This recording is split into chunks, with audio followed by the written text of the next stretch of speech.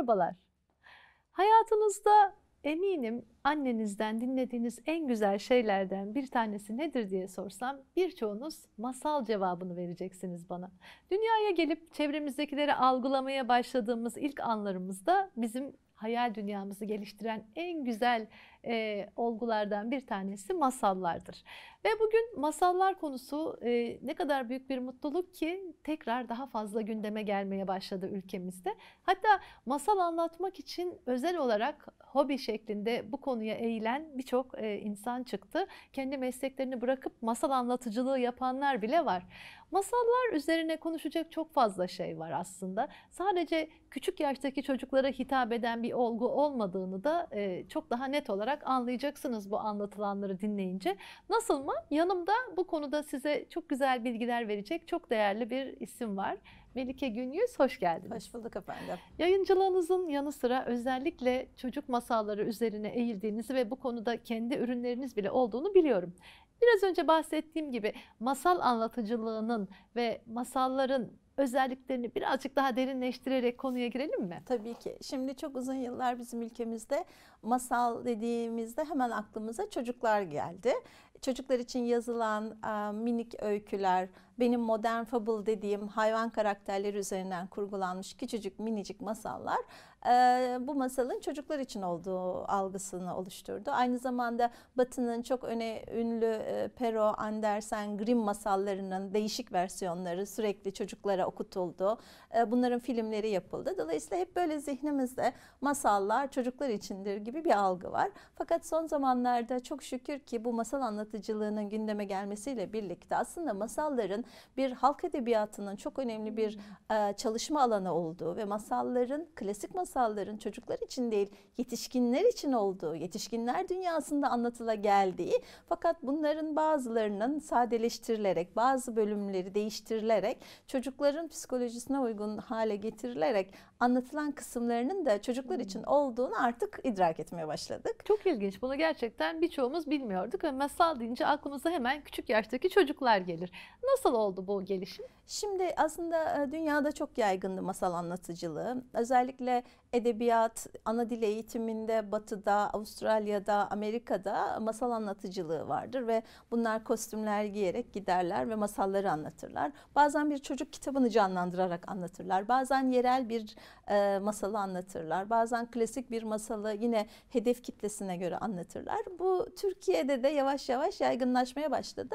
Ama çok güzel bir şey oldu. Yetişkinler için başladı. Yani başlangıç noktası yetişkinlere masal anlatma şeklinde başladı.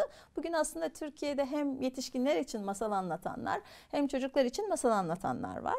Şimdi masalların aslında şöyle bir özelliği var. Masallar içinde bulunan ortama, zamana, mekana ve e, dinleyici kitlesine göre masal anlatıcısı tarafından değiştirilir, hmm. yenilenir, yeniden anlatılır ve yani, dolayısıyla bahsettiğiniz meddahlık kültürüyle aynı şey mi? E, yani bir bakıma ama meddahlık çok farklı bir şey. Meddahta şimdi masallarda e, toplumun çok eski çağlarından beri biriktirdiği bir anlatının yeniden sunulması vardır. Meddahlık biraz bundan farklı bir şeydir. Şimdi masallar genellikle eski yani o toplumun e, bir olay karşısında nasıl duyduğu, nasıl hissettiği ile çok yakından ilgilidir. Masalların geçmişine baktığınızda aslında bütün dünya masallarının tek bir yerden neşet ettiğine dair bir bir takım akademik görüşler vardır. Mesela bugün işte Nardani Hanım diye bir masalın Batı literatüründe Pamuk Prenses olarak karşımıza çıkıyor. Uzak Doğu'ya gittiğimizde başka bir versiyonunun ortaya çıktığını görüyoruz.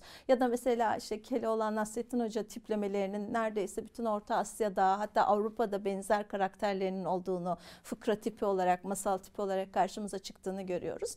Dolayısıyla aslında bunlar ilk çağlardan beri insanların ürettiği bir edebiyat ürünleri ve bu edebiyat ürünleri o toplum içerisinde anlatılırken de mesela erkekler meclisinde anlatıldığında farklı versiyonları, kadınlar meclisinde anlatıldığında farklı versiyonları, o mecliste çocuklar varsa farklı versiyonlarıyla karşımıza çıkıyor.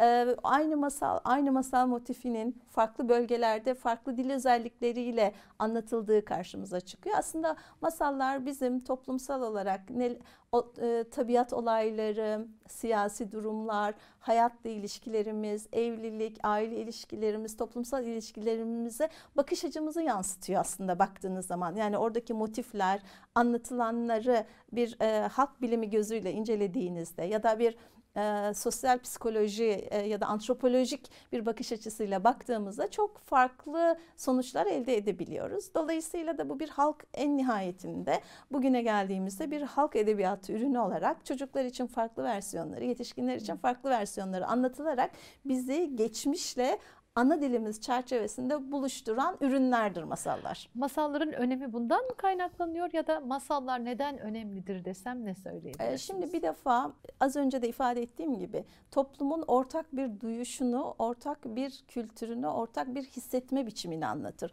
Masalların kaynakları destanlara dayanabilir, efsanelere dayanabilir ve bunlar masal formuyla yeniden karşımıza çıkıyor olabilir. Dolayısıyla bizi birbirimize bağlar bunlar. Biz babaannemizden dinlediğimiz masal masalı torunumuza veya çocuğumuza anlatırız. Dolayısıyla bu bizim o toplumsal sürekliliğimiz, hissetme, bir olay karşısındaki duyguları açığa çıkarma, o dili kullanma, o dildeki heyecanı anlatma, o dili yeni nesle öğretme anlamında çok değerli malzemeler. Aynı zamanda edebiyatın beslendiği kaynaklar. Yani biz bir masal motifini ele alarak yepyeni bir modern fantastik roman yazabiliriz.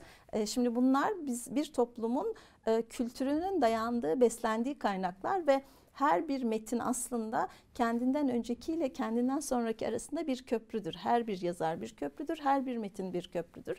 Dolayısıyla da biz kendi geçmişimizi gelecek nesillere masallar yoluyla aktarıyoruz. Çok güzel. Peki genellikle bir algı vardır. Masallarda hep doğaüstü varlıkların e, olduğu ve bu boyuttan e, hikayelerin geliştirildiği yönünde. Bu bugün için de geçerli mi? Doğru mu? Şimdi tabii ki çok doğru. Yani bütün gençler fantastik edebiyatla uğraşıyorlar. Yani gerçek olmayan düzlemdeki karakterlerle meşguller, e, büyü ve sihirle meşguller. Yani daha doğrusu büyü ve sihirin olduğu birçok film mesela bugünkü gençliği bütün dünyada ama ilgisine çekiyor. E, içinde bulunduğumuz anı anlamlandırmak için bazen doğaüstü şeylere ihtiyaç duyuyoruz. E, ve insan galiba bu insanın tabiatında olan bir şey ki insanoğlu yaratıldığından beri hep bunları masallarında, anlatılarında işleye gelmiş ve bugün her şeyin ne kadar rasyonel, ne kadar akılcı olduğunu bilsek bile hala fantastik edebiyata sığınıyor gençlerimiz. Hala efendim e, bu tarz metinlere sığınıyor, bu tarz metinlere ilgi gösteriyor. Demek ki bunlar insanların ihtiyacı olan şeyler. E, masal anlatıcısı her zamanda ve her mekanda ihtiyaca göre yeni bir anlatı geliştirir. Dolayısıyla siz masal metnini yazıya geçirdiğinizde onu dondurursunuz. Bunu halbuki sürekli anlattığınızda yeni kelimeler, yeni duyuşlar, yeni ifadeler koyarsınız. Şimdi biz içinde bulunduğumuz şu korona günlerinde eminim ki 20 e, yıl sonra bunlar bizim masallarımıza çok farklı bir şekilde yansıyacak. Çünkü bu artık bizim yaşadığımız bu neslin tam da şu anda bütün dünyada herkesin çok yakından, çok derinden hissettiği bu günler bizim edebiyatımıza ve masallarımıza da yansıyacak. Peki bize kısacık içinde koronavirüs olan bir masal anlatır mısınız? Aa, Hadi çok bir deneyin. Zor. çok zor. Hiç düşünmedim. Bir varmış, bir yokmuş. Bir küçük çocuk ailesiyle birlikte koronavirüs riskiyle karşı karşıya kalmış. Şimdi, Sonra evet e, ben e, iyi bir masal yazarıyım ama iyi bir masal anlatıcısı değilim.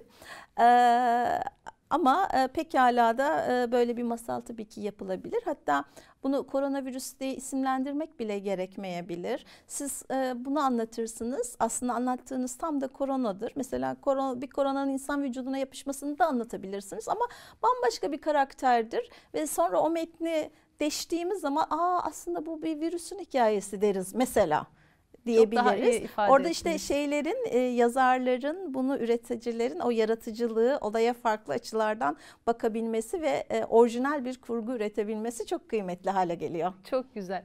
Peki son bir soru daha sorayım size. Bütün masallar mutlu sonla mı bitmelidir? Ee, kime hitap ettiğiniz çok önemli ve kurguyu nasıl yaptığınız çok önemli. Bence hayat mutlu sonla bitmiyor her zaman. Ama umut aşılamak için biz genellikle çocuklara anlattığımızda mutlu sonla bitiririz. Çünkü umut vermemiz gerekir.